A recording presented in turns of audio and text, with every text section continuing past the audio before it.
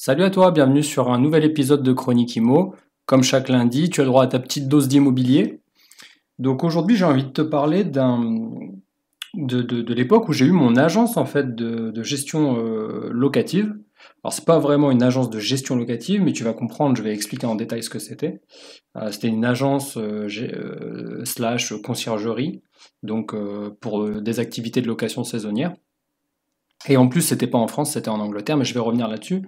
Je voulais juste en profiter pour remercier toutes les personnes qui ont rejoint euh, la communauté. La semaine dernière, on a dépassé les 1500 écoutes. Alors, je sais que ça représente rien à l'échelle des podcasts, mais euh, à l'échelle du lancement de ce podcast qui fête ses un mois, bah, c'est déjà pas mal. Et euh, donc c'est difficile de dire où est-ce que vous les écoutez le plus parce que les stats ne sont pas regroupés, mais j'imagine que c'est le plus sur les applications comme euh, Spotify, Deezer ou encore Apple Podcast. Je précise pour dire que les épisodes sont tous uploadés sur euh, YouTube si tu as la préférence euh, d'écouter sur YouTube. Donc du coup, ouais, je voulais te parler de cette expérience assez incroyable que j'ai eue, qui n'était pas du tout prévue, où en fait, à la suite de hum, ma première opération immobilière en France, euh, j'ai décidé bah, de, d'aller vivre une expérience à l'étranger et notamment j'étais déjà parti mais je suis revenu et puis reparti. Et donc j'avais envie de repartir euh, en Grande-Bretagne et notamment euh, en Angleterre, euh, parce qu'il se trouve, j'avais des facilités euh, avec l'Angleterre, euh, notamment la ville, ma ville d'origine avait un vol direct avec une ville en Angleterre. Il se trouve que cette ville était classée comme une des meilleures villes pour vivre là-bas, à savoir Bristol. Donc je sais pas si tu connais, si tu as déjà entendu parler. Enfin bon, bref, peu importe. C'est un petit peu, si je devais faire une comparaison avec la France, c'est un petit peu le Bordeaux français tu vois, ou le peut-être pas le peut-être le Biarritz français, je sais pas. C'est un peu le sud-ouest, tu vois, de l'Angleterre. Euh, et, c'est considéré comme une ville d'art, comme une ville euh, fleurie où il fait bon vivre, euh, il y a la mer à proximité, même si à toute mesure gardée évidemment ça n'a rien à voir avec notre côte ouest à nous. Euh, bon, toujours est-il que j'avais décidé d'aller vivre là-bas, mais que j'étais en même temps euh, à fond dans l'IMO, puisque moi je venais de vivre ma première expérience, donc mon ascenseur émotionnel était, euh, était au plus haut, puisque j'avais eu de très bons retours avec, avec une très belle plus-value, etc. Et, j'étais, en fait, j'avais je m'étais auto-convaincu que je pouvais le faire par moi-même, voilà, que j'étais capable. Donc je vais vivre ma petite vie en Angleterre, et puis euh, ne parlant pas extrêmement bien anglais, évidemment, je fais une multitude de petits jobs, euh, jusqu'au jour où j'arrive à, me débrouiller, euh, peut-être pas au niveau bilingue, mais, mais au niveau anglais professionnel, et donc du coup je peux vraiment accéder à un poste qui ressemble plus à ce que j'étais capable de faire, à savoir en agence immobilière. Bon ça c'est encore une autre histoire, c'était une agence qui vendait des, des logements neufs, qui avait fait... où les propriétaires avaient fait banqueroute, donc en Espagne et au Portugal. Donc les banques avaient récupéré euh, les biens hypothéqués et nous on était chargés de les revendre, mais je, parlerai de ça dans un autre épisode. Et donc du coup à côté de ça, moi j'étais à fond dans mon euh, dans ma volonté en fait de continuer à investir ou en tout cas de, vivre de l'immobilier d'une manière ou d'une autre. J'étais persuadé que c'était ça en fait qui, allait qui, marchait pour moi, qui collait à ma, à ma personnalité.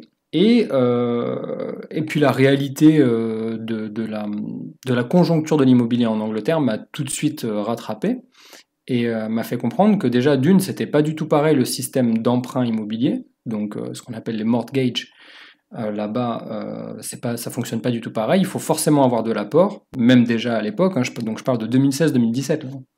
Donc il fallait déjà avoir de l'apport. Pour un premier investissement, c'est euh, impossible de le faire tout seul, ou alors il faut avoir une super situation, genre médecin, avocat, euh, chef d'entreprise à succès, euh, sinon les banques ne vous prêtent pas, il faut être associé à quelqu'un qui a une bonne situation, un bon ce qu'on appelle un scoring bancaire là-bas. Et donc voilà, donc je, ne correspondais pas à tout ça, les banques elles me riaient un petit peu au nez, et donc du coup il a fallu que je trouve une solution. Euh, en tout cas que déjà que j'aille chercher des, choses qui se faisaient sur place et comment les gens pouvaient vivre de l'immobilier. Et déjà, je me suis rendu compte que le marché n'était pas du tout pareil qu'en France. On a l'impression que c'est similaire en, termes de nombre d'habitants, en termes de logements euh, disponibles, en termes de logements vacants, etc. Mais en fait, le marché, il marche. Enfin, il n'est pas euh, dilué de la même manière. Donc, c'est un marché qui est très régulé, le marché immobilier anglais. par contre, il est très peu contrôlé. Donc ça veut dire qu'il y a tout un tas de règles, donc c'est comme en France, il y a des copropriétés, il y a des syndics, Et il y a des agences immobilières. Bon, après, il y a quelques nuances près, il y a des choses qui changent, mais euh, mais il y a assez peu de contrôle. Donc une fois que le locataire est en place ou une fois qu'il y a des contrats qui sont signés, d'ailleurs, on peut mettre un petit peu ce qu'on veut sur les contrats en Angleterre. C'est pas comme en France où il y a euh, où le bail c'est un truc sacré, euh, ou même si on met une connerie dans le bail, euh, ça, ça c'est considéré caduque puisque le, les baux sont réglementés.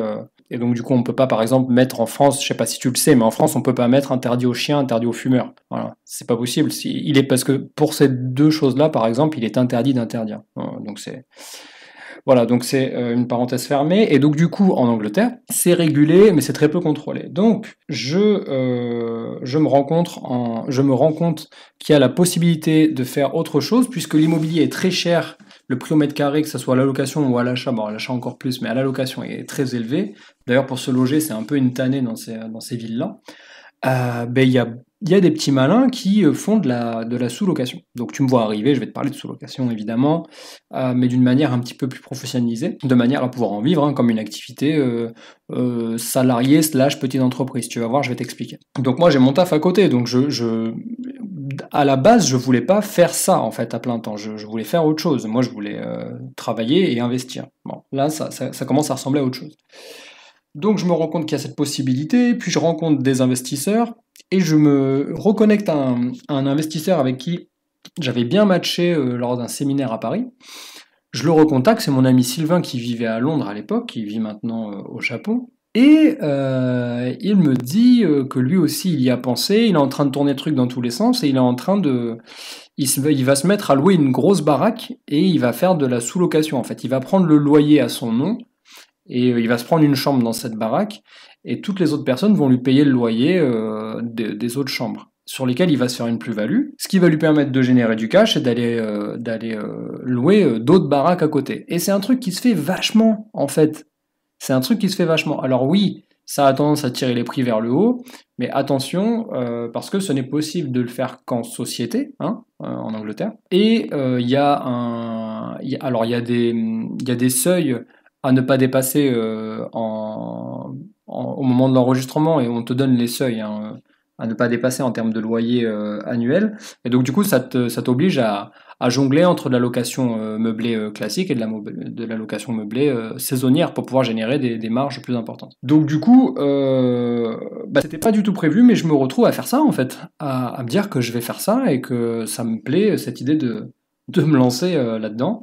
Donc en parallèle de mon job, euh, je lance ça, donc je crée ma petite limited et me mets à chercher des appartements. Et alors il faut dire qu'en termes de test, j'avais quand même euh, euh, voulu voir si ça fonctionnait. Et donc du coup, ce que j'ai fait, c'est que j'avais mis mon propre appartement. Donc là où je vivais, moi je louais un studio dans, un, dans un bon quartier sur, sur Bristol. Et j'avais mis mon studio à louer. Et c'était incroyable les prix à la nuitée euh, comparé à ce que mon loyer me, coûtait. Euh, donc j'ai plus trop le ratio, mais en gros, moi, mon loyer me coûtait quelque chose comme 30 ou 40 euros par jour. Enfin, en livres sterling, évidemment. Euh, et je pouvais le louer 80 à 110 livres par jour, mon appartement. Donc tu vois un petit peu, les, les ratios sont, sont énormes.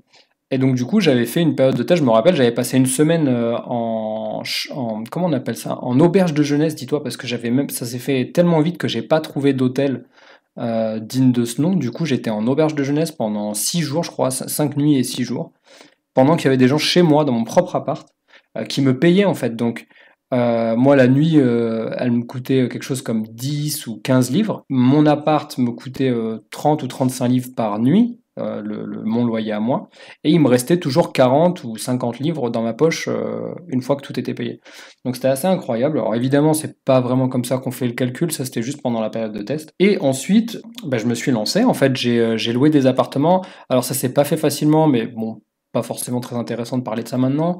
en gros, c'est difficile de, louer un appartement parce qu'il faut que le dossier soit béton. Et vu que je voulais des appartements de qualité bien situés, bah, je passais forcément par des agences. Donc en plus, je me tapais des frais d'agence. Mais bon, le, le, ratio euh, de rentabilité était tellement important que je pouvais me le permettre. Et euh, ensuite, j'avais un petit budget. Alors, ça, dépendait des appartements. Vraiment, j'ai trouvé des appartements qui étaient.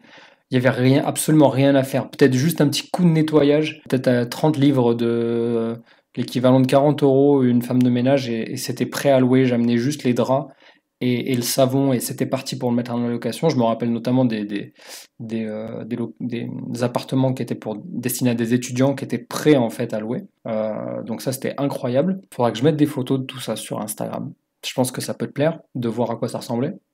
Et puis il y avait des apparts où pour le coup c'était dans des quartiers où je pouvais louer plus cher parce que c'était euh, quartier historique, euh, euh, beaucoup de touristes, beaucoup de restos, etc. Donc là c'était très recherché surtout les week-ends parce que les Anglais ils font beaucoup la fête donc ils venaient beaucoup dans ce quartier. Et là ça se louait ouais entre 100 et 150 livres quand il n'y avait pas de soir de, de, match de foot et les soirs de match de foot. Enfin, je me rappelle avoir loué euh, pour ce studio auquel je pense là, euh, on a loué une soirée à 430 livres, en fait, une seule soirée, une seule nuit. ils étaient même pas dans l'appartement, c'était uniquement parce que à Cardiff, donc à une demi-heure de voiture de, Bristol, il y avait la finale de Ligue des Champions. Euh, donc tu regardes quand est-ce que c'était à Cardiff, ça devait être en 2017 ou 2018. et non, c'est 2017, c'est 2017 à tous les coups. Et, euh, et, du coup, bah, ils ont loué, c'était euh, c'était des Italiens, je me rappelle, qui étaient venus. Et euh, donc la finale, ça devait être Juventus, je sais pas contre qui. Et voilà, donc on avait loué hyper cher. Bon bref, dans tous les cas, il y avait un budget rafraîchissement, jamais de gros travaux, toujours du rafraîchissement, et souvent des meubles. Souvent des meubles ou matelas, ou tu vois, ce genre de choses, de manière à ce que ça soit sympa, parce qu'il faut pas croire que c'est comme en France, il y a quand même une plus grosse en tout cas, à cette époque-là, il y avait une grosse concurrence sur ces villes-là. Euh, Bristol, c'est quand même là, euh, si je dis pas de bêtises, troisième ou quatrième ville d'Angleterre. Donc euh, ouais, les mecs, enfin ils n'ont pas attendu que j'arrive pour, pour se lancer sur ce marché-là. Donc moi je te dis, j'avais déjà vécu ma première bonne expérience en France. J'étais, je voulais accélérer en fait. Donc du coup j'ai pris moins d'heures au boulot pour passer plus de temps à faire ça. De toute façon j'en avais besoin parce que au bout de quatre ouais, au bout de quatre studios, en fait, j'avais compris que je pouvais sortir net dans ma poche tous les mois, une fois que j'avais payé mes taxes, parce qu'il y a beaucoup de taxes quand même à payer, et ce qu'on appelle la City Council Tax, donc c'est la taxe, euh, pas de séjour, c'est encore autre chose, c'est la taxe, euh, l'équivalent de notre taxe d'habitation, on va dire que c'est une taxe d'utilisation, en fait, c'est un peu différent. Euh, et c'est différent dans chaque rue, et donc moi, il fallait que je les additionne, donc une fois que j'avais payé mes 1000 ou mes 1500 livres de taxes, bah, il me restait un SMIC de là-bas, donc 1000 livres en fait, par appartement. Donc tu calcules, tu as 4 studios, tu fais 4000 nets, euh, bah, c'est clair que tes heures de travail, euh, bah, tu les réduis. Quoi. Donc je passais euh, quasiment l'intégralité de mon temps à faire ça, et assez peu de temps à, bosser pour l'autre activité, mais bon. À l'époque, c'était, c'était, accepté, d'autant plus que c'est un truc qui n'existe pas vraiment en France, mais les, les, boîtes en Angleterre, enfin, en tout cas, ça dépend de la taille de la boîte, mais la boîte pour laquelle je bossais, en fait, elle me poussait plus à, ben, à réussir plutôt qu'à donc euh, mon employeur était tout à fait d'accord avec ça avec le fait que ben, si j'avais besoin de plus de temps pour ma propre activité, ma propre entreprise, ben, c'était normal en fait de prendre moins d'heures chez lui. Et lui, il était content parce qu'il voyait que quand j'étais au boulot, ben, j'étais productif quand même parce que ça me changeait les idées, je faisais autre chose et, euh, voilà. Donc c'était euh, gagnant-gagnant. Donc je te dis, ouais, j'avais compris qu'il y avait cette solution de sous-location et, mon, ami Sylvain en même temps faisait la même chose sur, sur Londres. Donc on s'est rencardé à un moment donné où on a, on a commencé à accélérer tous les deux d'ailleurs. J'ai une interview euh, qui a été faite, je, vais, que je l'avais mis en... J'ai une vidéo de ça, mais je pense que je vais la, la, remettre en public. Elle est sur YouTube cette vidéo, mais elle est en privé. Je vais la remettre en public sur YouTube, comme ça tu pourras aussi écouter si ça t'intéresse. Euh, donc ça date un petit peu, mais à mon avis, euh, il y a quand même des, des infos qui sont à jour et c'est toujours sympa. Et euh, bon, évidemment, dans le même temps, moi, je reste très très connecté au marché immobilier et aux façons d'investir en France parce que bah, je, je, comment dire, je me nourrissais de ça et je me nourris d'ailleurs toujours de ce qui se fait et de ce qui va pouvoir se faire. Tu vois, j'étais toujours très à l'écoute. Et puis, euh, je me rends compte qu'en fait, il y a aussi des gens en France qui le proposent euh, en enfin en tout cas qui en parlent sur les réseaux. Et, euh, donc du coup, bah, je, me rends compte qu'en fait c'est juste un système qui est, qui est duplicable à peu près n'importe où. Donc si je te dis ça, pourquoi? Je te dis ça tout simplement parce que si aujourd'hui tu m'écoutes, que tu as un taf mais que ça te fait chier, que tu fais un truc mais que tu te rends compte que c'est pas vraiment ça que tu aimes faire. Exemple, tu as un taf, tu es caissier, ou je sais pas quoi, tu as un truc, ça te motive pas, tu sens que l'immobilier, ça peut te plaire. Euh, manager des appartements en location courte durée, c'est possible dans la ville dans laquelle tu vis et tu sens que c'est jouable, eh ben, dis-toi que c'est vraiment possible. La solution en France, c'est de se mettre en EURL ou en auto-entrepreneur au début, mais attention parce que tu vas aller vite, vite, vite au RSI, tu vas vite dépasser le, seuil avant d'être, euh, euh, de basculer au RSI. Donc si je dis pas de bêtises, c'est 22 700 euros. Attention, ça c'est à confirmer. Je suis pas du tout un pro de l'auto-entreprise. Hein. Moi, je suis pas en auto-entreprise. Sinon, directement, euh, si tu as un peu de fonds pour louer différents appartements, eh ben, tu te mets en EURL ou SARL, ça dépend si vous êtes plusieurs. Et, euh, et tu fais des contrats en fait.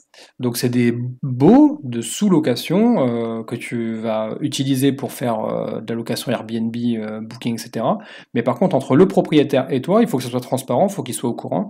Et c'est un contrat tout simplement. Donc lui, il te loue l'appartement à toi avec les conditions comme quoi toi tu vas l'exploiter en location saisonnière, comme ça c'est transparent.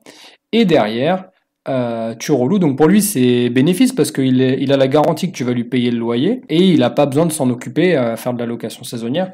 Et toi, tu es garanti de faire euh, du cash flow parce que normalement, évidemment, il faut faire une petite étude sur ton marché, mais normalement, c'est rentable pour toi. Si tu as des questions évidemment par rapport à ça, tu me DM euh, sur Insta ou sur n'importe quel plateforme d'écoute, tu peux me mettre en commentaire ta question et la, j'y répondrai lors du prochain épisode. Euh, donc voilà, euh, c'était à peu près tout ce que je voulais dire par rapport à ça. Euh, bah, évidemment, j'ai très vite compris que je pourrais pas aller plus loin parce que c'est, faut que tu comprennes que c'est une vraie activité. Ça te pompe en fait ton temps. Alors ça prend de l'énergie, mais est-ce que c'est mieux de prendre ton énergie pour bosser pour toi, pour te sortir les doigts et avoir l'impression d'entreprendre, ou en tout cas vraiment de lancer un petit un, début d'entreprise, ou est-ce que c'est mieux de rester dans ton taf en te disant ouais mais là je suis en sécurité, machin truc, et puis au final ouais bah, je passe pas mes heures à bosser et puis je peux rentrer euh, euh, je peux rentrer euh, et aller boire des bières avec mes potes. Tu vois je sais pas en fait je dis ça sans aucun jugement mais juste en termes de de, de, de, de volonté il faut savoir ce que tu as envie de faire et si tu as envie de te sortir les doigts et de d'entreprendre, moi je trouve que c'est une bonne façon de débuter, surtout quand on n'a rien pour soi, quand on est un fils de prolo comme moi en tout cas, bah c'était un petit peu la. J'ai trouvé que c'était pas si difficile que ça. Et puis ça m'a fait grandir intellectuellement, j'ai aussi appris à, à, à, utiliser des outils euh, numériques, euh, Channel Manager, euh, à m'exprimer encore. J'ai énormément évolué en anglais grâce à ça. Euh, j'avais des voyageurs du monde entier, donc ça m'a vraiment permis d'avoir des conversations avec des gens euh, hyper surprenants. Euh, et enfin, pour moi, c'était vraiment tout bénef. J'ai donc du coup compris que je ne pouvais pas scaler. Donc scaler, ça veut dire que ton entreprise elle n'a pas de limite, en fait, elle n'a pas besoin de toi pour avancer, puisque c'est le genre d'entreprise qui a besoin de toi pour avancer. Donc il y a, y a, plein de façons de déléguer, euh, notamment évidemment les ménages, les check-in, les check-out. Donc nous on fonctionnait avec un système de boîte à clés pour certains appartements et d'autres par contre, qui était plus cher, où là, on faisait vraiment les check-in euh, en direct, bah, des fois, on prenait. Euh, moi, au début, je faisais ça avec des potes. Hein. Je disais à mes copains espagnols, ouais, dis donc, t'es où? T'es au bar euh, d'à côté, tu veux pas déposer les clés, machin. Enfin, c'était incroyable. Ou même, des fois, je prenais mon vélo pour faire les check-in moi-même. Donc, tu vois, vraiment, c'est un peu route, hein, je, te, je te le cache pas. Mais, qu'est-ce que tu veux Moi, j'avais 22 ans, prenais 3 à 4 000 euros par mois, euh, même plus, 4 500. Enfin, je, m'en foutais en fait de travailler. Et du coup, euh, juste pour finir là-dessus, euh, il faut que tu saches que tu peux t'associer. Eh oui, comment on fait ça? Ben, En fait, tout simplement, pour louer des appartements, il te faut un petit capital, un petit pécule. En fait, il faut l'équivalent de 3 à 4 mois de loyer de cet appartement de manière à déjà payer la caution, payer le premier mois parce que c'est un mois, bah, c'est généralement le premier mois où tu fais un peu de rénovation, enfin de, de, un, coup de, rafraîchissement, tu mets de la déco, etc. Puis tu commences à louer ce mois-ci. Donc c'est pas le premier mois qui est hyper rentable. Mais donc du coup cet argent, si tu l'as pas, ben, il y a une façon de faire pour aller plus vite, avoir plus d'appartements et partager évidemment les gains, c'est de t'associer. Et donc moi j'avais fait ça sur un appartement avec, euh, avec un ami euh, italien, Andrea. Et Andrea il m'a dit bah écoute ton truc ça a l'air de fonctionner, tu, tu, tu rentres de l'argent tous les mois, moi ça m'intéresse, par contre je veux pas m'en occuper, euh, si tu veux, euh, on fait 50-50 et euh, je te file la moitié du cash pour prendre des appartes. Et voilà, donc on a commencé comme ça. Ensuite, il a eu une petite galère, il a dû partir, donc rentrer chez lui. Mais sinon, je sais très bien que c'est quelque chose qu'on aurait pu dupliquer. Voilà, grosso modo. Donc là, je t'ai un petit peu tout partagé. Le, qu'est-ce que j'ai fait quand j'étais en Angleterre et qu'est-ce que c'est que cette agence de gestion immobilière. Donc en fait, je faisais pas vraiment de la conciergerie pour des appartements euh, de l'extérieur, donc je gérais pas les appartements des autres, bien que c'était pas moi le propriétaire, c'était moi le, le, garant de la propriété, mais je n'en étais pas le propriétaire. Et euh, c'était par contre, c'était comme une activité euh, d'entreprise. Donc euh, voilà, tous les mois des frais, donc des frais courants. Donc les loyers, les taxes, je t'en ai déjà parlé, les taxes de séjour à rétribuer, à oui c'est ça, à rétribuer parce que ça tu le collectes. Payer les frais de ménage, payer les trucs cassés, voilà, les frais de, laverie parce que on n'avait pas la possibilité de nettoyer les, il fallait une blanchisserie à proximité. Bon voilà, il y a un petit peu de frais de déplacement de temps en temps, etc. etc. Et donc euh, une fois que tu as payé tout ça, ben, euh, tu rentres le cash dans ta limited, donc dans ta société en fait. Et cette société, évidemment, elle paye un petit peu d'impôts, mais en Angleterre, ça va, c'est très tranquille. Là, euh, si tu dépassais pas le plafond, on était à 7,5%. Et une fois que tu as payé ces 7,5%, bah, tout le reste, c'est pour, c'est pour Bibi, donc c'est pour toi. Et tu as le droit de sortir, enfin, ça dépend de la, banque, de la banque, pardon, du compte, j'allais dire dans la banque que tu as, mais tu peux sortir le cash à peu près quand tu veux. Voilà, c'était tout pour l'épisode du jour. Donc je vais te parler euh, de la question. Ah non, j'ai pas de question. Je pensais avoir une question. Euh... Et dis donc, cette semaine, on n'a pas eu de questions. Donc si jamais tu as des questions, bah, tu peux. Euh, tu sais qu'à chaque fin d'épisode, je réponds à une question normalement. Euh, cette fois-ci, j'en ai pas. Tu peux me poser ta question en DM sur Insta ou sur n'importe quelle plateforme d'écoute. Tu me mets ta question dans les commentaires. La reco du jour, par contre, j'ai une reco et qui est aussi en rapport avec l'épisode du jour. Donc c'est quelque chose que je continue à faire dans mes appartements à l'heure actuelle, même si aujourd'hui je m'occupe plus du tout de mes locations saisonnières puisque je passe par une conciergerie, donc j'ai délégué cette partie-là. c'est que je fais un carnet de santé pour chaque appartement, chaque lot en fait que j'ai. D'ailleurs, c'est pas que des appartements. Et même si c'est pas des appartements, il y a un carnet de santé, une sorte de passeport, un carnet d'entretien, t'appelles ça comme tu veux où à l'intérieur, bah, il y a toutes les caractéristiques du bien en question, euh, la façon dont euh, euh, les choses fonctionnent, s'il y a des petites particularités, des fois il y a des trappes, donc il faut les expliquer, il faut prendre des photos. il y a aussi le numéro de compteur, quand tu as des Linky, il faut un numéro de ce qu'on appelle le point de livraison, ou le PMR sur les Linky, bah, moi je mets le numéro de PMR. Euh, tu vois, par exemple, toujours par rapport à l'électricité, bah, je mets euh, mon code parrainage euh, Total Énergie, comme ça, j'ai même pas besoin de m'en occuper quand j'ai un locataire. Il lit le carnet d'entretien, il voit qu'il y a un code parrainage, donc il va avoir 20 euros pour lui. Bah, il se connecte avec ça et ça fait 20 euros pour moi. Tu vois, il n'y a pas de petites économies. Euh, avec des explications. Ce carnet, en fait, c'est un peu la, la, feuille de route. Tu vois, en cas de problème, exemple dans les appartements, j'ai mis le numéro direct, comme ça on m'appelle pas. J'ai mis le numéro direct euh, de euh, du plombier et de l'électricien. Pourquoi? Parce que ça, c'est le genre de galère, tu vois, où on t'appelle en milieu de la nuit, où on t'appelle vraiment au moment où t'as pas vraiment envie d'être dérangé, pour ben, parce qu'il y a un problème dans l'appartement. Et en même temps, c'est normal. Moi qui suis locataire dans, ma résidence principale, ben, si j'ai un problème, je vais appeler mon agence à n'importe quelle heure de la journée. La nuit, elle travaille pas mon agence. Du coup, ce qui se passe, c'est que dans le carnet, moi je le dis dès le premier jour à la signature de l'état des lieux, je dis voilà, il y a tout ce qu'il faut. Là, vous avez un problème de plomberie, ben, vous appelez directement le plombier. Il a un budget de 100 euros par déplacement. Donc ça veut dire que si votre truc, là, ça coûte plus de 100 euros, il sera obligé, lui, de me contacter pour établir un devis pour que je le valide ou non. Et pareil avec l'électricien. Bon, après, pour tous les autres corps d'État, généralement, il n'y a pas besoin hein, de mettre euh, des coordonnées directes. Mais ça, on va dire que c'est un petit peu les urgentistes de, euh, de, l'immobilier, du dépannage. Et il y a aussi, euh, il y a aussi le, cordonnier le plus proche. S'il fait des, des, réparations et des déplacements en cas d'urgence, ben, je mets le numéro aussi. Comme ça, ben, ils n'ont pas besoin de passer par moi, ils passent par le cordonnier et c'est tout. Voilà, c'était tout pour cette semaine et je te dis à la semaine prochaine. À bientôt.